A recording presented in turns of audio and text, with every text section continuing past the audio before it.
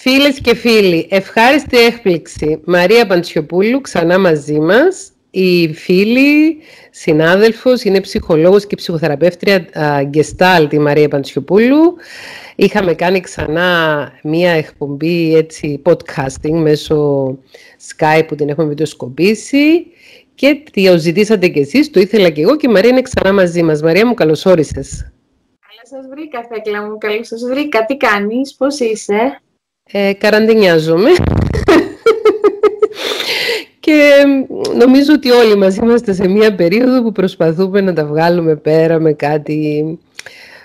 με έναν εχθρό που πλέον είναι γνώριμος, αλλά δεν πάβει να είναι εχθρός, όπως είναι ο εγκλισμός.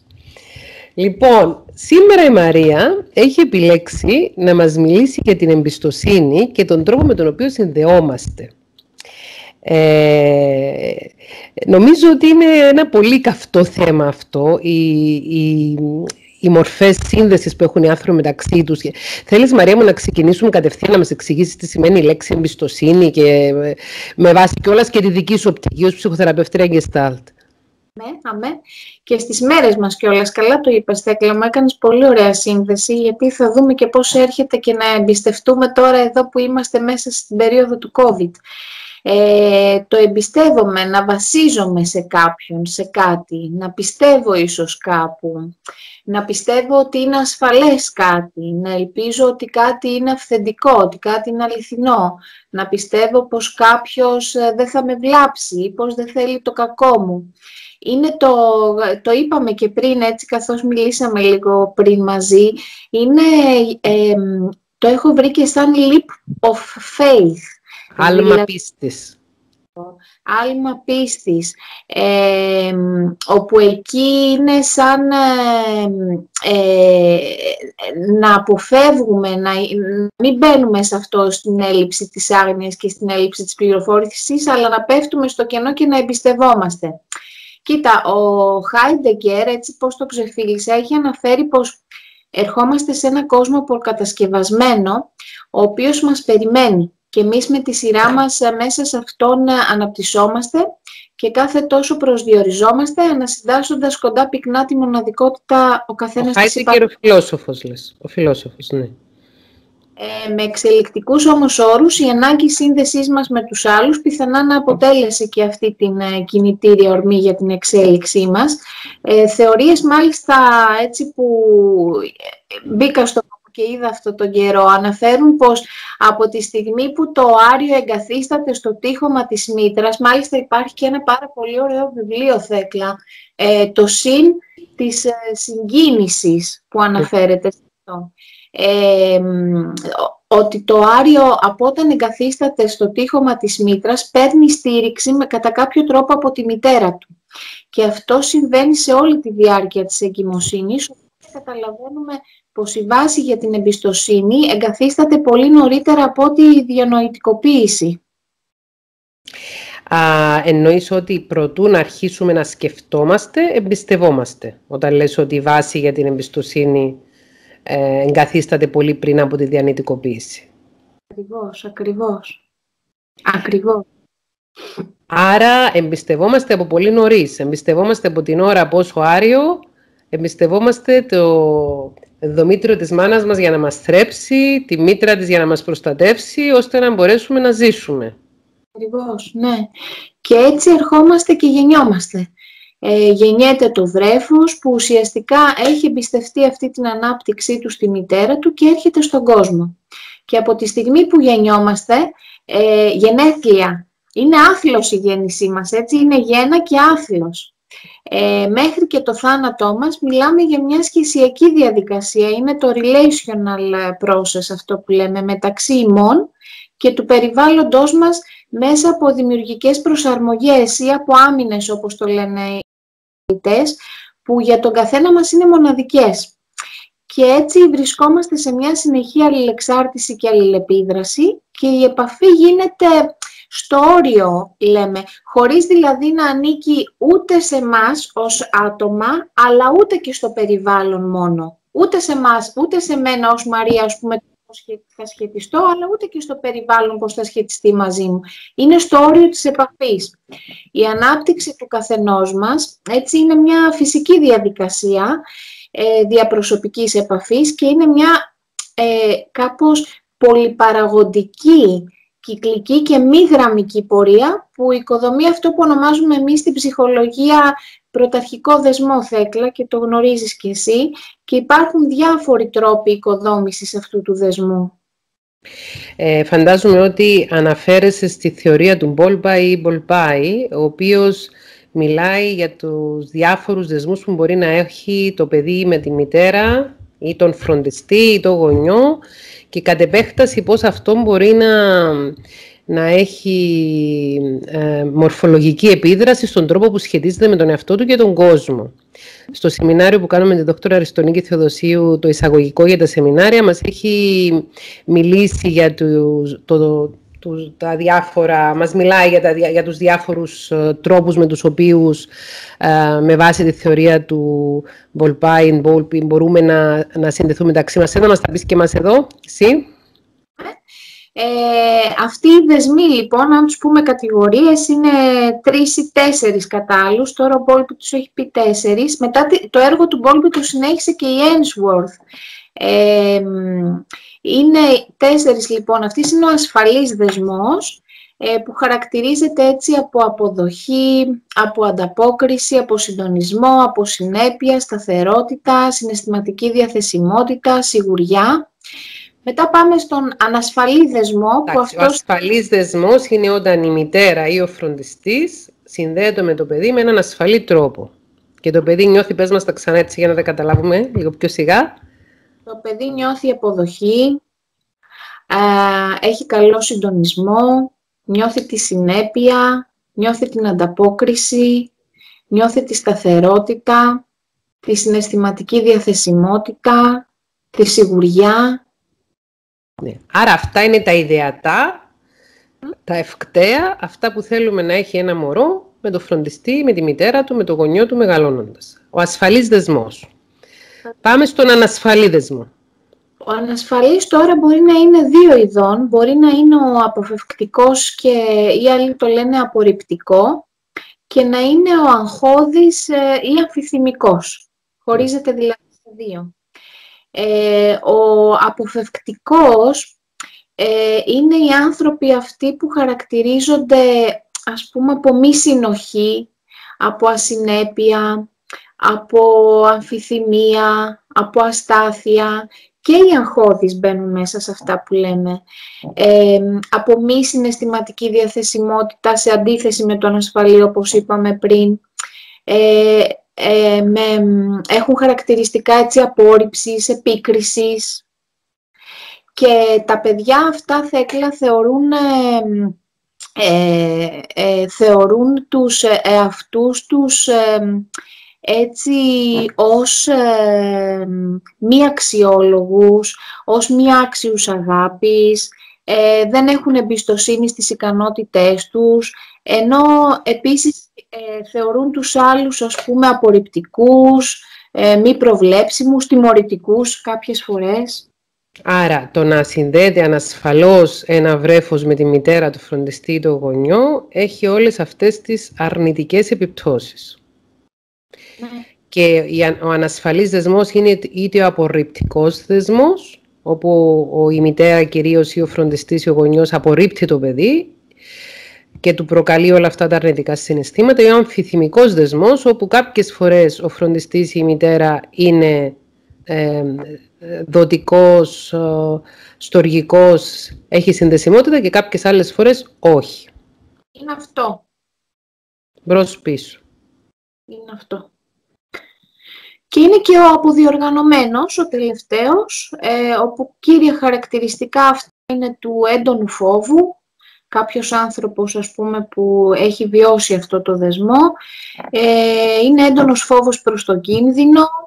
Ε, είναι συνεχώς έτσι σε επαγρύπνηση αυτός ο άνθρωπος.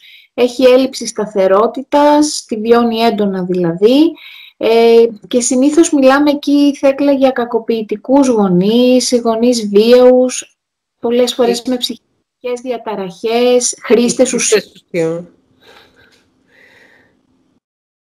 Είναι ο χειρότερος τρόπος, ο χειρότερος δεσμός που μπορεί να έχει ένα παιδί από διοργανωμένος δεσμός. Ναι. Και έτσι μέσα από τους τρόπους αυτούς ε, που σχετίζεται ως βρέφος και αργότερα ως παιδί ο άνθρωπος με, ανα, με ανάλογους τρόπους ε, θα, θα σχετιστεί και με τους άλλους ως ενήλικας. Με την εμπιστοσύνη να αποτελεί το βασικό δομικό στοιχείο αυτού του πρωταρχικού δεσμού και πώς το φέρει μέσα του, εσωτερικευμένο δηλαδή, ανά τα χρόνια της ανάπτυξής του. Πες μας το έτσι λίγο με πιο απλά λόγια. Εσωτερικεύει δηλαδή ο άνθρωπος ε, έναν δεσμό και αυτόν, την, το πώς μπορεί να είναι ένας δεσμός. Και ένα αυτό στυλ το... δεσμού, στυλ δεσμού, όχι ένα δεσμό. Δηλαδή, όπως συνδέεται η μάνα μας ή ο φροντιστής μας ή οι, οι, οι γονείς μας μαζί μας, αν συνδέονται με ασφαλή τρόπο ή ανασφαλή τρόπο ή αποδιοργανωμένο τρόπο, έτσι και εμείς μαθαίνουμε να συνδεόμαστε με τον εαυτό μας και τον κόσμο. Γιατί μαθαίνεται η συνδεσιμότητα ή η, η, η δυσκολία συνδεσιμότητας.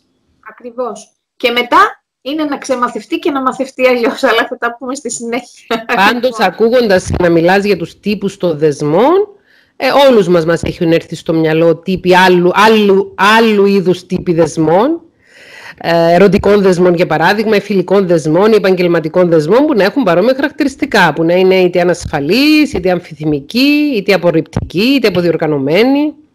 Βεβαίως, ποια γίνονται αυτά χαρακτηριστικά σχέσεων, το πώς εμείς μπαίνουμε σε μία σχέση.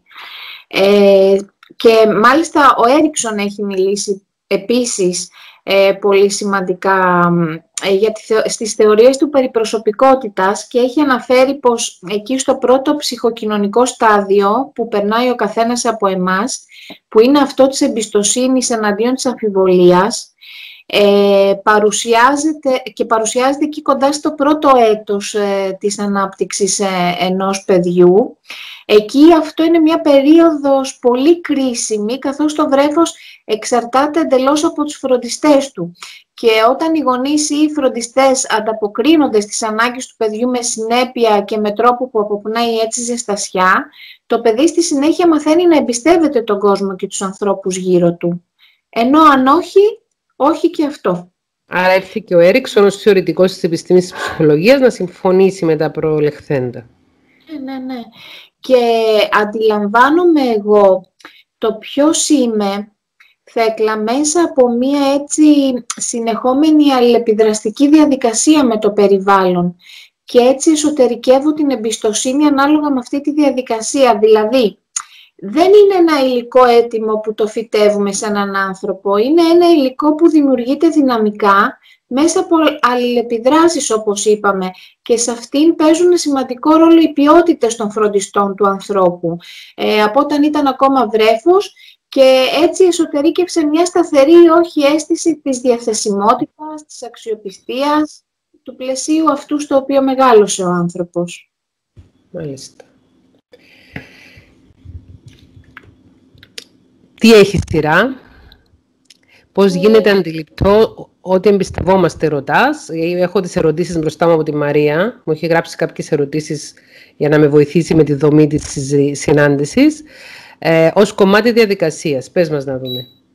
Yeah, οι άνθρωποι έτσι δημιουργούν δυνατούς και ποικίλους δεσμούς εμπιστοσύνης. Ε, αυτοί οι άνθρωποι που δημιουργούν αυτούς τους δεσμούς έχουν περισσότερες πιθανότητες να επιβιώσουν όπως λένε οι έρευνες, συγκριτικά με αυτούς που εμπιστεύονται λιγοστούς ή και κανέναν.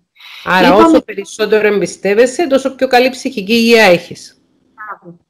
Ε, είπαμε πριν πως η ανάγκη σύνδεσής μας με τους άλλους μας όθησε να καλλιεργήσουμε την τάση προς εμπιστοσύνη ως τρόπο μείωσης του άγχους που προέρχονταν από την ανάγκη λήψης ρίσκων στη ζωή μας και αφήνοντας έτσι την ύπαρξή μας στα χέρια των φροντιστών, ένας φιλόσοφος πολύ αγαπημένος μου, έτσι, ο Μερλό Ποντή, ε, υποστήριξε πως το ανθρώπινο είδος πασχίζει για συνοχή και αυτό αποτελεί μια αιτία άγχους και μια όθηση για θαραλέες δράσεις.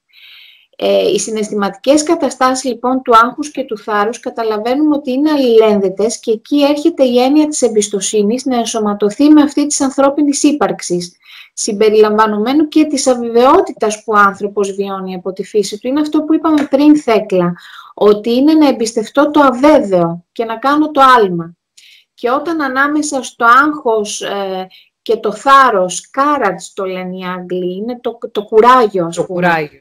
Ναι. Επιτευχθεί αυτή η ισορροπία, η αρμονία, τότε αυτό είναι εμπιστοσύνη. Και είναι μια ενσώματη, μια βιωμένη κατάσταση που περνάει ο άνθρωπος. Ε, συγκεκριμένα... Δηλαδή, το έχω εγώ και εμπιστεύομαι, δεν είναι επειδή αξίζει να σε εμπιστευτώ. Εγώ το έχω και εμπιστεύομαι.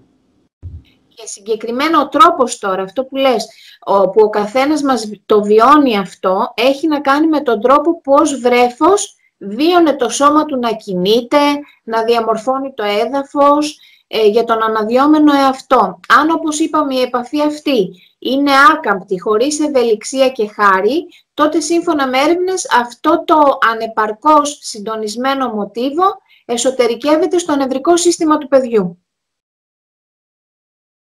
Αντίστοιχα, το σύστημα στο το νευρικό σύστημα. Το νευρικό σύστημα του παιδιού. Δηλαδή, αν ο τρόπος με τον οποίο συνδέεται ο φροντιστής ή ο γονιός είναι άτσαλος, αυτό εσωτερικεύεται να συνδέεται και το παιδί άτσαλα. Σύμφωνα με νευροεπιστήμες, έτσι, με έρευνες. Πώς μπορούμε να καταλάβουμε ο καθένας από εμάς με ποιο τρόπο συνδέεται; Έτσι, όταν έχουμε τώρα ένα, ένα, όταν ένας ενήλικας ε, ε, απορρίπτει συνεχώς, δεν συνεργάζεται ποτέ, δεν έχει συνέπεια λόγων και έργων, δράσεις δηλαδή, δεν έχει σταθερότητα και χαρακτηρίζεται ως ελεγκτικός, ως ψυχρός, είναι συνεχώς επιφυλακτικός, είναι μη διαθέσιμο συναισθηματικά και διακατέχεται από έλλειψη άνεσης στην εγκύτητα και δείχνει συνεχώς δυσπιστία, αμφιθυμία, μη συνοχή, αστάθεια, τότε αντιλαμβανόμαστε ότι είναι πιο πιθανό αυτός ο άνθρωπος να έχει εσωτερικεύσει έναν αγχώδη ή αποφευκτικό πρωταρχικό δεσμό, ε, πάντων έναν ανασφαλή δεσμό. Ε, πρόκειται για τους ενήλικες που αποφεύγουν τη δημιουργία πολύ στενών επαφών και γίνονται υπερβολικά αυτοεξαρτώμενοι, όπως τους λέμε. Αυτό, αν, ανεξάρτητοι, ας πούμε. Ε, κρύβουν το άγχος και το φόβο τους αυτοί οι άνθρωποι, προσπαθώντας να μην δείξουν αρνητικά συναισθήματα και τροποποιούν τη συμπεριφορά τους με σκοπό να είναι αγαπητοί από τους άλλους. Τουναντίον όμως, στον ασφαλή δεσμό, ο εαυτός γίνεται αντιληπτός ως άξιος αγάπης και υποστήριξης και ο άνθρωπος όχι μόνο αποκτά εμπιστοσύνη στις ικανότητές του, μα θεωρεί και τους άλλους άξιους εμπιστοσύνης και ανταποδοτικούς. Είναι ενήλικες που έχουν έτσι αναπτύξει αρτιότερη ανθεκτικότητα, ε, κοινωνικές δεξιότητες, ροή συναισθημάτων, συνέστηση, θετική αυτοεκτίμηση. Οι γύρω δεν θεωρούνται τρομακτικοί δηλαδή για αυτούς τους ανθρώπους, δεν είναι επικίνδυνοι ο γύρω κόσμος τους, ούτε και απρόβλεπτοι. Το περιβάλλον τους δηλαδή δεν το θεωρούν απειλητικό. Και αυτοί που έχουν να κάνουν, που συνδέονται με έναν αποδιοργανωμένο τρόπο και αποφευκτικό τρόπο, ε, δεν θέλουν να συζητάνε για συναισθήματα, δεν θέλουν να συζητάνε για σχέσεις, δεν θέλουν να αναλύουν πράγματα τα οποία μπορεί να φέρουν στην επιφάνεια τι νιώθουν ή τι δεν νιώθουν, γιατί στην ουσία προσποιούνται συναισθήματα. Ναι, ναι, ακριβώς. Ακριβώς, Τεκλά. Έχεις πολύ δίκιο. Μιμούνται. Μιμούνται συναισθήματα. Ναι. Ε, τώρα, εμείς από τη θέση μας, έτσι το γνωρίζεις και εσύ από τη μεγάλη σου την εμπειρία ως ψυχολόγος και ψυχοθεραπεύτρια, το διακρίνουμε αυτό αν κάποιος έρχεται με εμπιστοσύνη στο γραφείο ή όχι. Θα εσύ δεν το, είχες, δεν το καταλάβαινες από την πρώτη, ναι. δεύτερη θητεία; Από το πρώτο λεπτό που, μπαίνει, που έμπαινε στην πόρτα κάποιος, από τον τρόπο που κοιτάει, που μιλάει, που περπατάει, που τη, από το body language πρώτα, από τη γλώσσα του σώματος και τις εκφράσεις του προσώπου πριν ακόμα μιλήσει κάποιος, νιώθεις σαν ε, σε εμπιστεύεται ή όχι. Έχει θέματα με εμπιστοσύνη ή όχι. Αλλά κάτι το οποίο πάντα είχα στο μυαλό μου και με, νομίζω με βοηθούσε ώστε να, να μην επηρεάζουμε από αυτό είναι ότι ο τρόπος με τον οποίο εμπιστεύεται ή όχι ο πελάτης μου έχει να κάνει με τον ίδιο και όχι με μένα. Α, ναι. Βεβαίως. Δεν έχει να κάνει με μένα το αν δεν εμπιστεύεται, έχει να κάνει το ίδιο ή η ίδια δεν εμπιστεύεται, οπότε δεν το έπαιρνα προσωπικά. Όπως φαντάζομαι και εσύ ως ψυχοθεραπεύτρια προσπαθείς να μην παίρνεις προσωπικά τα, τις ε, αδυναμίες, τις ευαλωτότητες του κάθε θεραπευόμενου ή πελάτη σου. Βέβαια, είναι ο λόγος για τον οποίο έρχεται ο άνθρωπος ε, στη θεραπεία. Είναι το θέμα ναι. του αυτό. Γι' αυτό το λόγο έρχεται. Ε, καταφθάνουν στο γραφείο μας με τέτοιου είδους έτσι αιτήματα οι άνθρωποι και καθώς τα αποκρισταλώνουμε σιγά σιγά, ε, συνήθως είναι τα σχεσιακά αυτά που τους απασχολούν και έρχονται παραδείγματος χάρη αναρωτώμενοι τι φταίει και δεν μπορώ να συνδεθώ, να δεσμευτώ ή γιατί έχω χαμηλή αυτοεκτίμηση. Ο τρόπος τώρα που θα συνδεθούν μαζί μας στη θεραπευτική σχέση είναι παρόμοιος με αυτό που σχετίζονται με τους υπόλοιπους ανθρώπους. Είναι αυτό που λες, δεν το παίρνω προσωπικά. Ε, γι' αυτό και χρειάζεται εμείς να διερευνούμε, να ρωτάμε, να ακούμε προσεκτικά, να κατανοούμε, να αποδεχόμαστε, δεν κρίνουμε, το γνωρίζεις αυτό, μα ουσιαστικά κάθε φορά να παρατηρούμε και να εκτιμούμε την εμπειρία της αλληλεπίδρασης και να, την, να τους την καθρεφτίζουμε. Και εμείς στην Gestalt έτσι εφαρμόζουμε θέτλα ως προσέγγιση, το λέμε οριζόντια θεραπευτική σχέση. Είναι αυτή η ισότιμη και με όρια. Ε, που και εσύ την ασπάζεσαι. Εσύ είσαι γκεστάλ και δεν το ξέρεις. Λοιπόν, ναι, πες μου να δούμε. Και αυτό αποκαλυπτικά πολλά στοιχεία και βασίζεται στην ε, συνεργασία, στην αυθεντικότητα, στη δέσμευση. Το ονομάζουμε διαλογικό υπαρξισμό αυτό και πρόκειται για μια βαθιά υπαρξιακή φιλοσοφία όπου δεν μπορεί να υπάρξει το εγώ ε, και να σταθεί μόνο του χωρίς να, τη συνάντησή του με το άλλο, με το περιβάλλον. Εγώ δηλαδή υπάρχω επειδή υπάρχεις εσύ σαν σημείο αναφοράς δικό μου και καθρεφτίζεις την ύπαρξή μου και εγώ τη δική σου. Και έτσι πρόκειται αυτό για τη βάση της εμπιστοσύνης μέσα στη θεραπευτική συμμαχία και συνάπτεται από την αρχή με το συμβόλο, δηλαδή όπως είπες από την πρώτη στιγμή που έρχεται ο άνθρωπος στη θεραπεία. Ε, υπάρχει τρόπος, Μαρία μου, ένας άνθρωπος ο οποίος έχει χάσει την εμπιστοσύνη του ή δεν είχε ποτέ εμπιστοσύνη στους ανθρώπους να μπορέσει να την αποκτήσει, να την ξαναποκτήσει; Ναι, βεβαίως. Βεβαίως. Θεραπεία. Στη θεραπεία, λοιπόν, ο θεραπευτής, ε, ο ψυχολόγος, παρατηρώντας τον, τον παγιωμένο τρόπο επαφής του ανθρώπου που έρχεται με το περιβάλλον του, το αναδεικνύει και αρχίζουν έτσι και δουλεύουν μαζί σε μία ongoing process, το λέμε, μίας... Ε, διαδικασία, συνεχιζόμενη διαδικασία. Διαδικασία εξελισσόμενη, ε, γεγονός που ε, διαμορφώνει και το γόνιμο έδαφος ώστε να καλλιεργηθεί εμπιστοσύνη για την οποία μιλάμε και μεταξύ τους. Η εμπιστοσύνη αυτή που συμβαίνει στο μεταξύ θεραπευτή θεραπευόμενου φαίνεται ακόμα, ακόμα και από την αναπνοή, αυτό που είπες στο body language, τον ε, μυϊκό τόνο, της κινήσεως του σώματος και εκεί βέβαια ο θεραπευτής είναι να έχει εμπιστοσύνη σε αυτό που κάθε φορά έρχεται και υπάρχει και έτσι κάνουν μαζί με το θεραπευόμενο το έδαφος, το grounding, να είναι αρκετά ισχυρό που να υποστηρίξει και τους δύο. Αυτό χρειάζεται έτσι μια ευελιξία και μια παρατηρητικότητα που γι' αυτό εκπαιδευόμαστε οι ψυχολόγοι και έτσι σιγά σιγά η, η, θεραπευτική διαδικασία μετατρέπεται σε ένα κοινωνικό μικρό κόσμο και μέσα από το διαλογικό χαρακτήρα της βιώνεται μια τέτοια ποιότητα σχέση που ο θεραπευόμενος μπορεί με αυτήν ως πρότυπο να διατηρήσει την ελπίδα και την προσδοκία παρόμοιο στη ζωή του σχέσεων. Ε, ε, το έχει μιλήσει ο Γιάλο με αυτό πάρα πολύ όμορφα και έχει μιλήσει για την εστάλαξη ελπίδας ε, στις σχέσεις του θεραπευόμενου.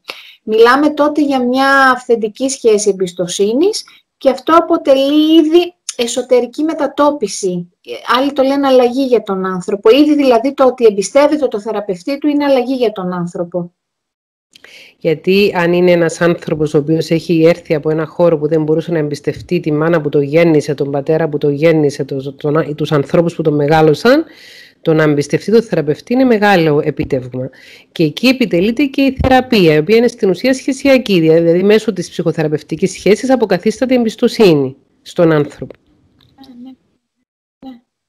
Ναι, ναι. Ναι. Τι γίνεται όμως με το φόβο και το άγχος που λέμε ότι έχουν οι άνθρωποι που έχουν ανασφαλή δεσμό. Φυσικά και υπάρχει εκεί ο φόβος και για φαντάσου αυτό που είπες. Ε, φαντάσου έναν άνθρωπο τώρα καχύποπτο και συγχυσμένο.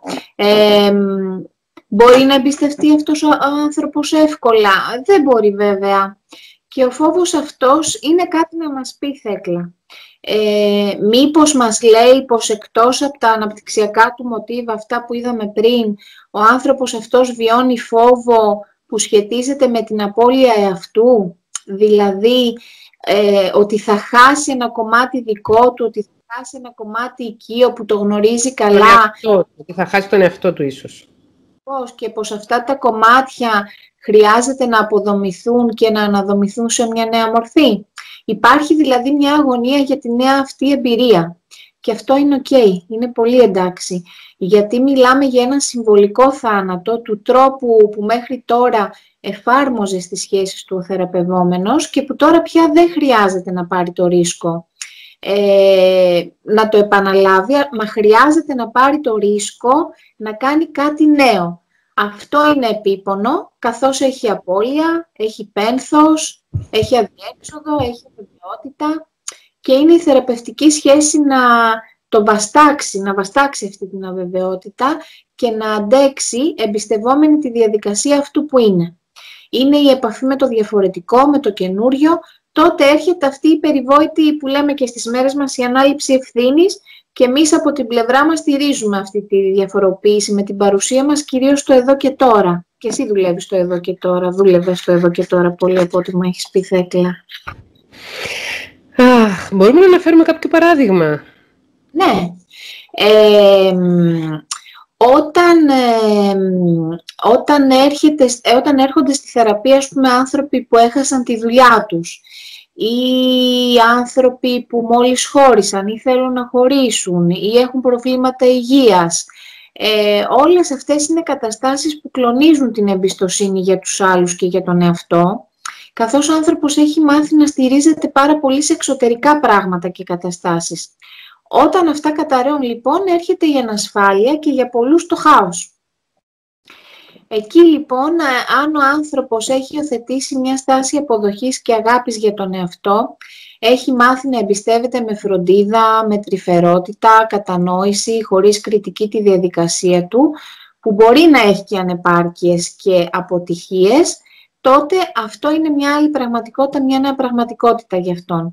Το να είναι σε θέση να αναγνωρίζει, ε, να τα αναγνωρίζει όλα, δηλαδή ως μέρος της ανθρώπινης ζωής ως κοινή μας εμπειρία των ανθρώπων που μας συνδέουν, δηλαδή τα λάθη μας. Νομίζω κάτι πρόσφατα έβγαλες και εσύ για τα λάθη μας. Life ε, happens. Ε, είχα βγάλει ένα βίντεο το πρωί, που, ε, το πρωί του Σαββάτου που, έλεγε, που είχε τίτλο «Όλοι κάνουμε λάθη στις ερωτικές μας σχέσεις». Πώς γι' αυτό ε. μιλάς; Όλοι κάνουμε λάθη στις ερωτικές μας σχέσεις. Έτσι, τα λάθη, οι ανεπάρκειες, οι αποτυχίες, είναι πράγματα που συνδέουν τους ανθρώπους, δεν είναι να μας απομακρύνουν, είναι ανθρώπινα πράγματα όλα αυτά, είναι και μέσα έχουν τη λεγόμενη αυτοαποδοχή, που ενέχει εμπιστοσύνη στον εαυτό ως σταθερή πηγή στήριξης, η οποία δεν εξαρτάται έτσι από εξωτερικές συνθήκες και βοηθά τον άνθρωπο να μην νιώθει τόσο ευάλωτος στις συνεχόμενες αυτές αλλαγές που συμβαίνουν. Πόσο μάλλον τώρα, στην περίοδο του COVID. Έτσι. Ε, η εμπειρία μου εμένα, Θέκλα, μου έχει δείξει πως ε, ε, στις αλλαγές περισσότεροι, οι περισσότεροι άνθρωποι είμαστε πάρα πολύ ευάλωτοι. Και τότε είναι που αρχίζουμε και κρίνουμε τον εαυτό μας, γινόμαστε αυστηροί, παρά το γεγονός ότι τότε χρειαζόμαστε περισσότερο παρά ποτέ την αυτοστήριξή μας, την αυτοϋποστήριξή μας. Και τη στήριξη αυτή την κερδίζουμε με εμπιστοσύνη στον εαυτό, που ανήκει σε ένα κόσμο ανθρώπινο, ανήκει σε ένα κόσμο ε, σε αυτόν τον κόσμο εδώ που ζούμε όλοι και άρα επηρεάζει και επηρεάζεται από αυτόν. Έτσι ο άνθρωπος εμπιστεύεται και το περιβάλλον και δεν το απομονώνει, μα το ενσωματώνει. Είναι ε, για μένα ένα ρητό, ε, το είχε πει κάποια στιγμή ένα δάσκα, ένας δάσκαλός μου και ήταν πάρα πολύ όμορφο, είναι εναρχή σχέση. Είμαστε σχεσιακά όντα. Όπως, λέγα, όπως λέγεται στην Αγία Γραφή, είναι αρχήν ο λόγος, ο δάσκαλος σου είπε αρχή είναι η σχέση. Ναι, ναι, ναι, ναι. Ε, βέβαια αυτή η διαδικασία, έτσι το είπαμε, έχει απώλεια, πένθος, θρήνο, του, του, τρόπου που είχα μάθει από παιδί και που πια χρειάζεται να τον αποχωριστώ. Έτσι χρειάζεται να αποχωριστώ αυτόν τον τρόπο. Αλλά τα λειτουργικά μοτίβα πια του ανθρώπου έρχονται να αντικατασταθούν από την αυτοπραγμάτωση και εκεί περίπου χρονολογείται και αν το βάλουμε σε χρονικά πλαίσια και το τέλος της θεραπείας ενός ανθρώπου. Φτάνουμε στην αυτοπραγμάτωση του Μάσλοου. Τη θυμάσαι την πυραμίδα αυτή στο Πανεπιστήμιο, ε; Λοιπόν, άρα εσείς τώρα, Μαρία μου, μας έχεις δώσει μέσα από από ένα τρόπο, πώς να το χαρακτηρίσω, ε, σταδιακό, μας έχεις εξηγήσει πώς οι άνθρωποι διδασκόμαστε μέσα από την ανατροφή μας με βάση το δεσμό με τον οποίο είχαν μαζί μας οι γονείς μας ή οι φροντιστές μας να εμπιστευόμαστε, να μην εμπιστευόμαστε αυτούς και αλλήλους. Έχουμε μιλήσει για τα τρία ή τέσσερα διαφορετικά είδη δεσμού, γιατί ο αποφευκτικός και ο αφιθυμικός πολλές φορές θεωρούνται δύο διαφορετικά. Και ε, πήγαμε μετά στο ότι το πώς σχετίζονταν οι γονείς μας μαζί μας και πώς έχουμε εκπαιδευτεί, πώς έχουμε μεγαλώσει σχετιζόμενοι, επηρεάζει τον τρόπο που σχετιζόμαστε εμείς με τον κόσμο και πώς όταν η έλλειψη εμπιστοσύνης πάει στη θεραπεία, τι συμβαίνει εκεί πέρα. Πώς μπορεί η ψυχοθεραπεία να βοηθήσει έναν άνθρωπο είτε να επανεγκαταστήσει είτε να εγκαταστήσει για πρώτη φορά εμπιστοσύνη στη σχέση με τον θεραπευτή, στη σχέση με τον εαυτό του, στη σχέση με τον κόσμο γιατί όπως είπες, ε, το επαναλαμβάνω, είμαστε σχεσιακά όντα οι άνθρωποι. Εμείς από τις σχέσεις μας και τους τρόπους με τους οποίους σχετιζόμαστε με τους άλλους, ζούμε, επιβιώνουμε, σχετιζόμαστε με τον κόσμο πολύ σπουδαίο το, αυτός ο δρόμος που μας έχεις ανοίξει. Δηλαδή, στην ουσία μας έχεις δώσει μια διαφορετική σκοπιά από την οποία να δούμε την, το φόβο, τη στενοχώρια, την εγκατάλειψη, τα αρνητικά συναισθήματα, να τα δούμε ε, με μια άλλη σκοπιά, με ίσως και μια άλλη προέλευση. Ναι. Και εγώ θα το πάρω και ένα βήμα παρακάτω και θα σε ρωτήσω αν ο τρόπος με τον οποίο έχουμε μάθει να σχετιζόμαστε αν έχουμε μεγαλώσει με ασφαλή δεσμό ή απορριπτικό ή αποφευκτικό ή ε, αποδιοργανωμένο δεσμό, αν αυτό επηρεάζει και τους ανθρώπους που ελκύουμε κοντά μας για να τις σχετιστούμε. Αν επιλέγουμε συνήθως να σχετιστούμε με ανθρώπους που θα μπορέσουμε με αυτούς να επαναλάβουμε τον ίδιο τρόπο δεσίματος ή δεσμού. Και εκεί μπορεί να λειτουργήσει ε, ανατρεπτικά η θεραπεία στον άνθρωπο. Γιατί η είναι αλληλοσυμπληρωματικές. Άμα είναι ένα στρόγγυλο, πάει σε ένα ημικυκλικό και κουμπώνει. Επομένως, ή θα ψάχνω να βρω ανθρώπους οικείους σε μένα με το πώς έχω μεγαλώσει, ή μετά από τη θεραπεία αυτό μπορώ να το σπάσω και να δω ότι εγώ ψάχνω να βρω ανθρώπους που χρειάζομαι για να είμαι σαν ενήλικος ε, αυτάρκης. Λοιπόν, για παράδειγμα, ένα παράδειγμα έτσι πολύ συχνό. Παιδιά που έχουν μεγαλώσει με ανασφαλή δεσμό. Είτε με μια μητέρα απορριπτική επικριτική, είτε με μια μητέρα αμφιθυμική. Εντάξει. Η... Αυτά τα παιδιά είναι πολύ πιθανό να ερωτεύονται ανθρώπους μη συναισθηματικά διαθέσιμους ανθρώπους που δεν έχουν χρόνο να ασχοληθούν με αυτούς ή με αυτές, ανθρώπους που δεν ε, εκφράζουν τα συναισθήματα τους ανοιχτά και καθαρά, ανθρώπους που ίσως έχουν μέρες τις οποίες είναι εξαιρετικά αγαπητικοί και εξαιρετικά εκφραστικοί και μέρες τις οποίες είναι ψυχροί και απόμακροι. Και είναι ε, μέσα από τις ερωτικές τους σχέσεις αναπαράγουν αυτό τον τρόπο με τον οποίο έχουν μάθει να συνδέονται από τη διαπαιδαγώγησή τους. Και εδώ είναι και τα ερωτικά μοτίβα. Πολλές φορές ρωτάνε και οι φίλοι στα σχόλια, Μα γιατί πάντα πάω και πέφτω πάνω σε παρόμοιους τύπους ή σε παρόμοιες τύπησες; Εκείνη που πρέπει να κάνεις ψυχοθεραπεία για να διερευνήσεις γιατί συνδέεσαι με τέτοιους τύπους ή τέτοιες τύπησες, γιατί ελκύεις στη ζωή σου τέτοιους τύπους και τέτοιες τύπησες και πώς μπορείς αυτό να το ανατρέψεις προς όφελό σου. Βέβαια. Τα επαναλαμβανόμενα αυτά τα δυσλειτουργικά μοτίβα είναι από τα πρώτα που τσιμπάνε, ας το πούμε έτσι, σε εισαγωγικά οι ψυχολόγοι θέκλα στη θεραπεία. Ε, και τα δίνουν στον άνθρωπο, τα δουλεύουν, τα βλέπουν μαζί, τα δουλεύουν και πάντα, πάντα παίζει ρόλο και η συνθήκη. Δηλαδή, να το πω έτσι με ένα χαζό τώρα παράδειγμα, αλλά... Δεν υπάρχουν ε, χαζά παράδειγματα, υπάρχουν απλά και λιγότερο απλά. Ναι. Αν, αν εγώ, ας πούμε, αν, αν έξω έχει κρύο, είναι σημαντικό εγώ να φορέσω, ας πούμε, μία ζακέτα, ένα μπουφάν, έτσι. Ε, και με αυτόν τον τρόπο να στηρίξω τον εαυτό μου με μία ζακέτα. Ε, αν όμως ε, έχει ζέστη, δεν είναι βλακώδες να πάω να πάρω μία ζακέτα. Ναι. Έτσι. Ε, χρειάζομαι και ένα νεμιστηράκι, ξέρω εγώ, ένα φορητό εργοτήσιο, κάτι άλλο. Η συνθήκη παίζει πάντα πολύ μεγάλο ρόλο. Δεν είμαι εγώ ξέχωρος από τη συνθήκη. Πρόκειται για τη θεωρία πεδίου. Που είμαι μέρος του πεδίου, επηρεάζω και επηρεάζομαι. Σίγουρα, ε, μέσα από τη θεραπευτική έτσι διαδικασία, ο άνθρωπος δέχεται την υποστήριξη που χρειάζεται για να εξελιχθεί χρησιμοποιώντας έτσι σταδιακά όλο του το δυναμικό. Δηλαδή, μαζί με, το, με τη θεραπεύτρια, με το θεραπευτή, με τον ψυχολόγο του, ο άνθρωπος βρίσκει αυτά τα μοτίβα που λες Θέκλα, τα αναγνωρίζει και έτσι σπάει αυτό που λέμε, ε, σπάει το μοτίβο σπάει το η επαναληψιμότητα και πλέον το μαθαίνει ο άνθρωπος να το κάνει διαφορετικά. Και δεν ξέρω αν θα το μάθει πάντα ο άνθρωπος με τη μία. Γιατί μπορεί να πάει να, να προσεγγίσει έναν άνθρωπο πάλι μη συναισθηματικά διαθέσιμο, να φάει τα μούτρα του. Θα το φέρει στη θεραπεία. Σε να πούμε και την αλήθεια ότι έχει πάρα πολλούς συναισθηματικά μη διαθέσιμους ανθρώπους οι οποίοι γαμπρίζουν και νυφίζουν. Θα το πούμε και αυτό. Ναι. Κάποια στιγμή όμως θα το μάθει. Κάποια στιγμή θα το μάθει να το κάνει διαφορετικά και θα πει τι γίνεται εδώ βρε παιδί μου, εγώ τι χρειάζομαι. Γίνεται ο άνθρωπος πρωταγωνιστής ο ίδιος στη ζωή του. Δεν είναι οι άλλοι. Κάποια στιγμή το είχα πει με μία κοπέλα θυμάμαι. Δεν είναι οι άλλοι τι μου δίνουν. Είναι εγώ τι ζητάω να βρω στον άλλο. Γίνομαι εγώ πρωταγωνιστής πια στη ζωή μου.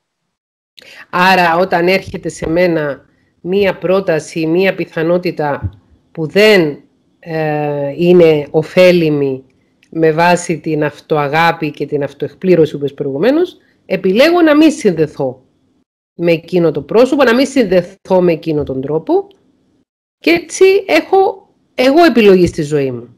Ναι. Γιατί πολλές φορές οι άνθρωποι ε, δυσκολευόμαστε να επιλέξουμε. Και αντί να επιλέγουμε εμείς πώς θα σχετιστούμε και πώς θα ζήσουμε τη ζωή μας, αναμένουμε να μας επιλέξουν. Ναι. Αυτό είναι ότι αφήνω τον άλλο να μου καθορίζει τη ζωή. Δηλαδή, εγώ δεν αναγνωρίζω την ανάγκη μου, δεν αναγνωρίζω ποιος είμαι και αφήνομαι στον άλλο. Δηλαδή, ικανοποιώ την ανάγκη του άλλου στην ουσία. Έτσι δεν είναι. Και δεν ξέρω καν και είναι η δικιά μου η ανάγκη. Πολλοί από εμάς, άμα μας ρωτήσουν τι θέλεις πραγματικά εσύ, δεν ξέρουμε να το πούμε. Δεν ξέρουμε να απαντήσουμε στο τι πραγματικά θέλω.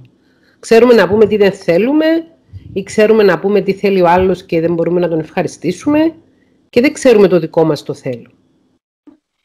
Δεν το έχεις παρατηρήσει και εσύ στους ανθρώπους που έβλεπες. Όταν το ρωτάς αυτό, υπάρχει η τάση να σου μιλάει για τον άλλο. Αυτό που λες. Δηλαδή, ναι και ο άλλος αυτό. Βρε για σένα ναι και έτσι το έκανε και έτσι το πήγε και έτσι. Βρε για σένα.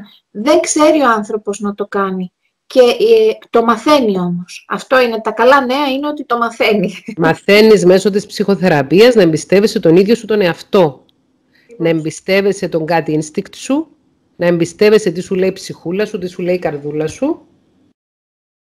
Ναι, ναι, και αν σου έχει αποδείξει κάποιος άνθρωπος ότι είναι ανάξιος εμπιστοσύνης, με τη λογική σου να αποφασίσεις να μην εμπιστεύεσαι τον συγκεκριμένο άνθρωπο.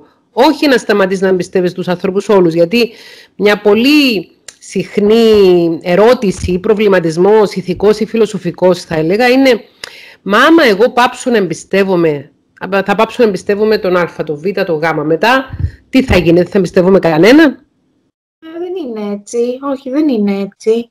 Δεν είναι καθολικό. Δηλαδή, δεν είναι ή εμπιστεύομαι ή ή δεν εμπιστεύομαι.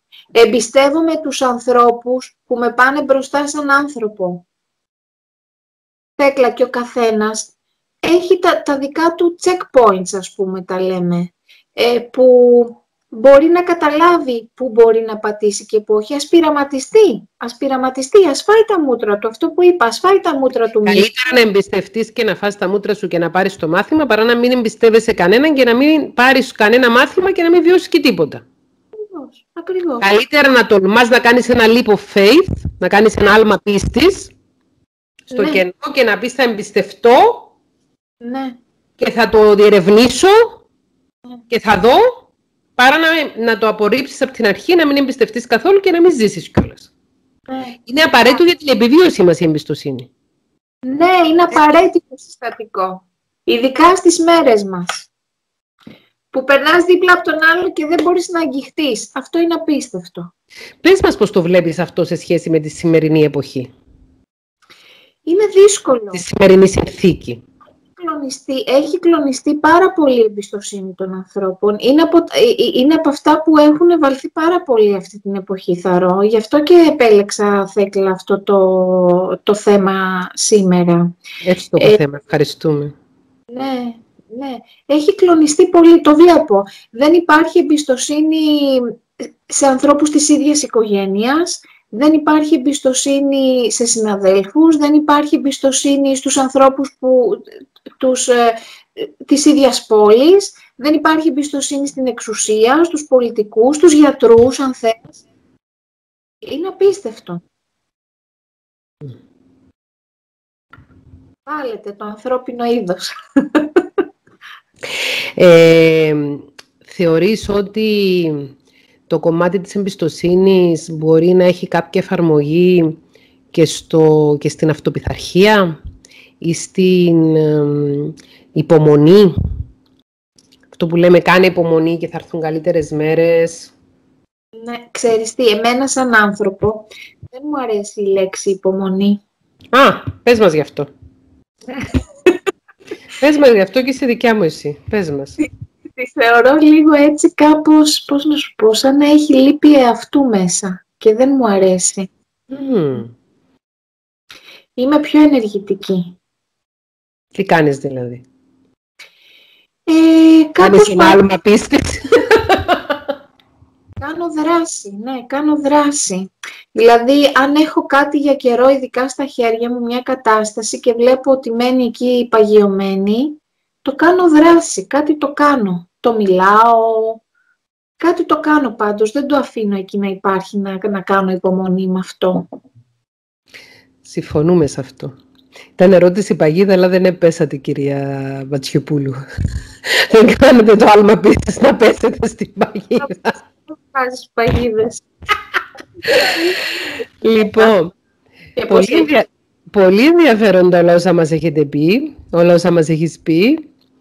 Και έχεις, έχεις φέρει εδώ και ένα παραμύθι, τα βλέπω γιατί μου τα έχει στείλει η Μαρία στο email, ένα παραμύθι και ένα ποίημα του Μπουκάη.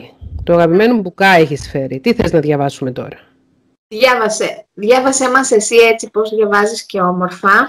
Το, το θέλω. Το, Το θέλω, θέλω, το οποίο είναι του Χόρχε Μπουκάη.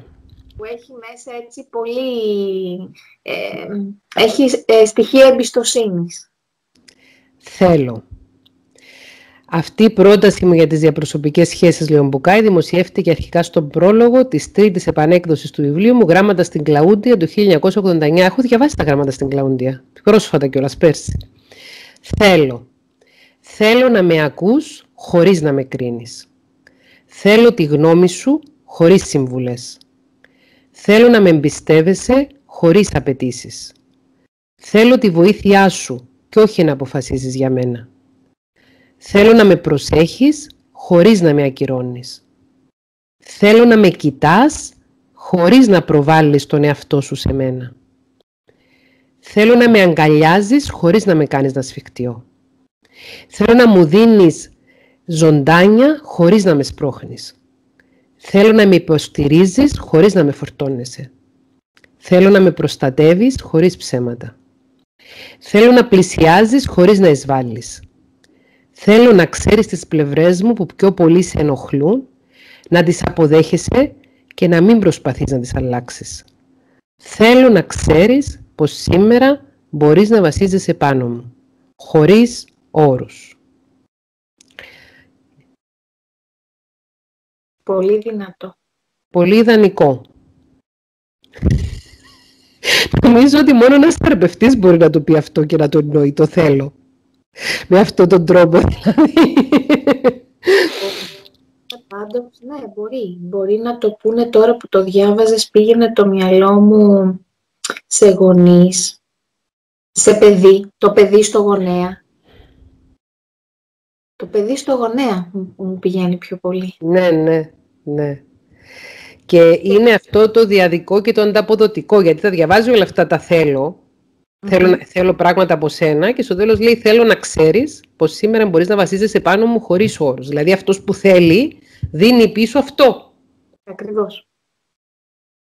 Ακριβώς. Κοιτάξτε, εγώ προσωπικά, κυρία Μαρία Παντσιοπούλου, μπορώ να το δω αυτό πολύ όμορφα σε σχέσεις ε, μεταξύ θεραπευτών, μεταξύ θεραπευτών και θεραπευόμενων, μεταξύ γονέων και παιδιών, μεταξύ παιδιών και γονέων, μεταξύ καρδιακών φίλων. Δυσκολεύομαι λίγο να το δω σε ερωτικές σχέσεις, γιατί έχουμε... και δυσκολεύομαι, γιατί έτσι... Έχουμε πολλά ψωμιά να φάμε και πολλές ψυχοθεραπείες να κάνουμε όλοι μας για να φτάσουμε σε ένα σημείο που να είμαστε άξιοι εμπιστοσύνης και να εμπιστευόμαστε σε μια ερωτική σχέση. Να εμπιστευόμαστε και να μπορούν και άλλοι να μας εμπιστευτούν, γιατί εκεί έρχεται το κομμάτι. Στις σχέσεις όμως τις άλλες, στη σχέση γονιού-παιδιού, εκεί ο γονιός έχει τον πρωτογανιστικό ρόλο. Μπορεί ο γονιός να επιλέξει από την αρχή να έχει ένα ασφαλή δεσμό με το παιδί. Ναι. Μπορεί να επιλέξει την υγιή σύνδεση από την αρχή και πάμε στο κομμάτι του πρωτού γίνεις γονιός, να τα έχεις βρει με τον εαυτό σου, να είσαι ψυχοθεραπευμένος και να έχεις αποφασίσει ότι θα είσαι ένα υγιές πρότυπο συνδεσιμότητας για τα παιδιά σου.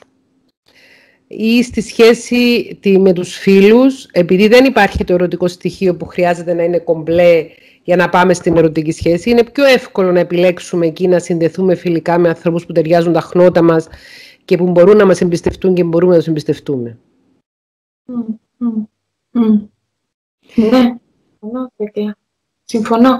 Και δεν είναι, όπως επίσης πιστεύω και ότι δεν είναι όλοι οι άνθρωποι για να κάνουν παιδιά. Δεν είναι. Και ούτε είναι κακό να μην είσαι για να κάνεις παιδιά σε καμία περίπτωση. Ότι ε, πολλές φορές περιμένουμε αυτού του είδους τη σύνδεση μόνο από μια ερωτική σχέση. Επιμένω εγώ εκεί την περιμένουμε αυτή τη σύνδεση και αυτή την ε, ε, ε, επαν, επανεγκατάσταση της εμπιστοσύνης μέσα μας, μέσα από μια ερωτική σχέση, κάτι το οποίο είναι πολύ δύσκολο και απίθανο να συμβεί και δεν παίρνουμε δράση, όπως είπες προηγουμένως, να κάνουμε αυτό που είναι στο χέρι μας, που στο χέρι μας είναι να κάνουμε ψυχοθεραπεία, στο χέρι μας είναι να ψυχοεκπαιδευτούμε, στο χέρι μας είναι να δράσουμε θετικά και δημιουργικά στις σχέσεις γύρω μας. Στο χέρι μας είναι να ξεκαθαρίσουμε πράγματα. Στο χέρι μας είναι να, να σταματήσουμε τα δυσλειτουργικά μοτίβα. Στο χέρι μας είναι να ψυχοψαχτούμε. Στο χέρι μας είναι να τα βρούμε.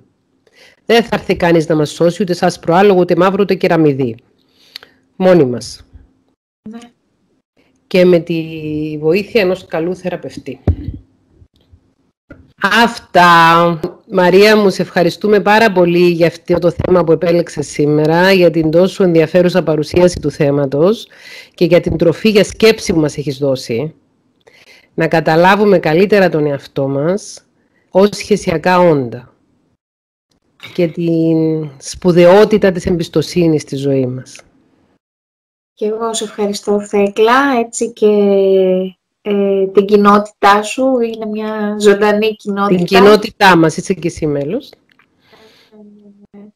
Ε, και έτσι που είναι τόσο ζωντανή και που τόσο έχουν αναπτυχθεί και σχέσεις εμπιστοσύνης και μέσα στο κανάλι, έτσι. Δηλαδή, κάποιες φορές που μπαίνω και κοιτάω τους διαλόγους από κάτω, έχουν γνωριστεί οι άνθρωποι, μιλάνε, πια έχουν κάνει επαφή. Και, και αυτό και αν είναι εμπιστοσύνη. Αυτό και αν είναι εμπιστοσύνη. Άρα το εμπνέεις. Και εσύ εμπνέεις την εμπιστοσύνη, Μαρία, και, ε, και όσοι άλλοι συνάδελφοι επιλέγουν να συνομιλήσουμε στο κανάλι και να έρθουμε σε επαφή και με το κόσμο του καναλιού είναι σαφώς συνάδελφοι που εμπιστεύομαι και που θα εμπιστευόμουν να, να πάνε δικοί μου άνθρωποι κοντά τους γι' αυτό το λόγο. Φυσικά σίγουρα υπάρχουν και άλλοι συνάδελφοι άξιοι εμπιστοσύνης. Μιλάω αυτούς τους οποίους τη χάνει, έχω την τιμή να γνωρίζω εγώ προσωπικά και να συνδέομαι με ένα ασφαλή δεσμό μαζί τους, νομίζω. Είναι ασφαλής ο δεσμός μας, τι λες; Ναι, είναι ασφαλής. Μπορεί να σε πάνω. Και εγώ σε σένα. Σ' αγαπώ πολύ πολύ. Σε ευχαριστούμε. Και εγώ. Φιλιά. Φιλιά. Φιλιά.